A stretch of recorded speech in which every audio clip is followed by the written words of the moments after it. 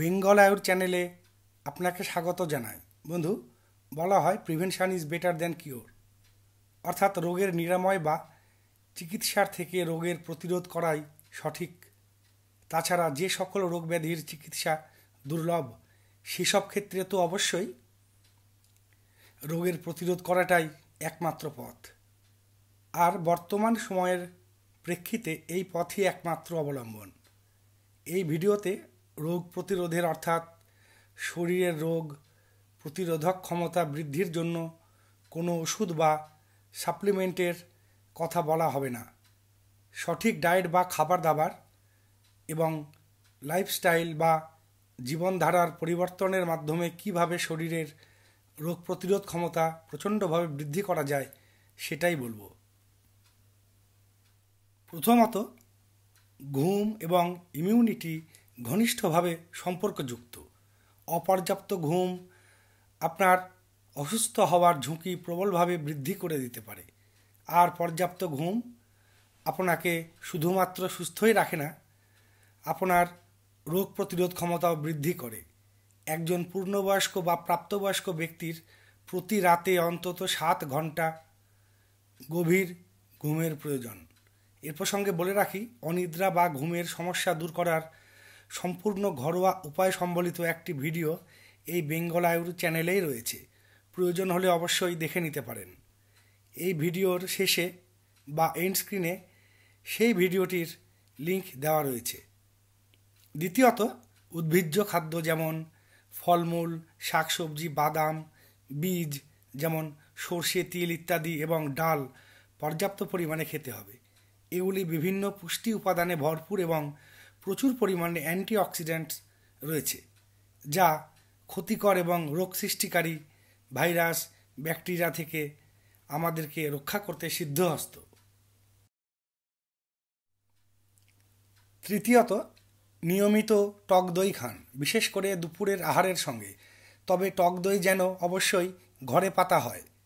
বাজারের টক দই ক্ষতিকর রাসায়নিকের সাহায্যে জমানো হতে পারে।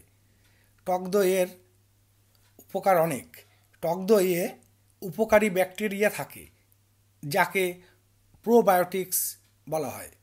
প্রোবায়োটিক্স হজম শক্তিকে উন্নত করে এবং সর্বোপরি বিভিন্ন রোগ প্রতিরোধ করে। চতুর্থত, চিনি যতটা সম্ভব কম খেতে হবে। বেশি চিনি খাওয়া স্থূলতা টাইপ টু ডায়াবেটিস এবং হার্টের সমস্যা তাৎপর্যপূর্ণভাবে বৃদ্ধি করে। পঞ্চমত, শরীরে যেন জলাভাব সৃষ্টি না হয় সেদিকে অবশ্যই লক্ষ্য রাখতে হবে।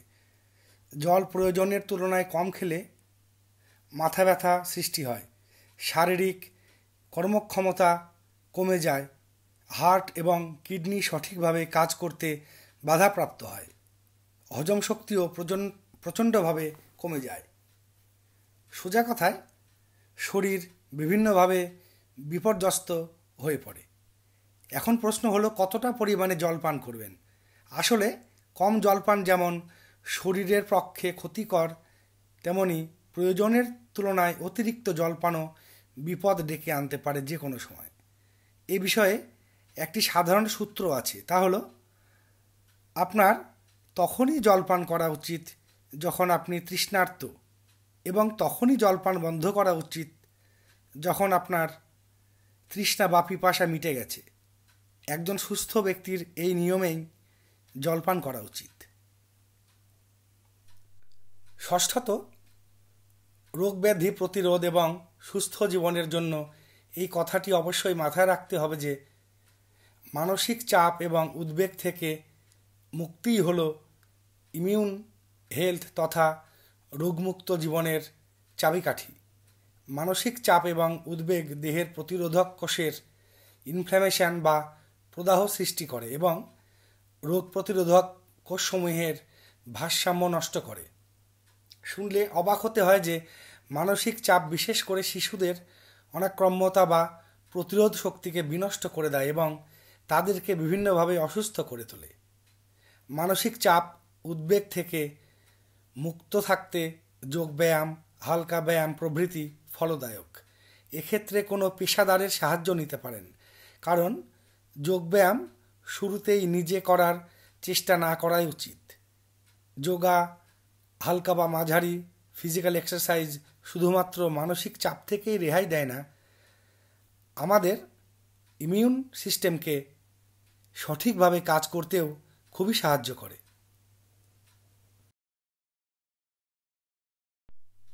আজ এ পর্যন্তই। সকলেই ভালো থাকুন সুস্থ থাকুন ধন্যবাদ।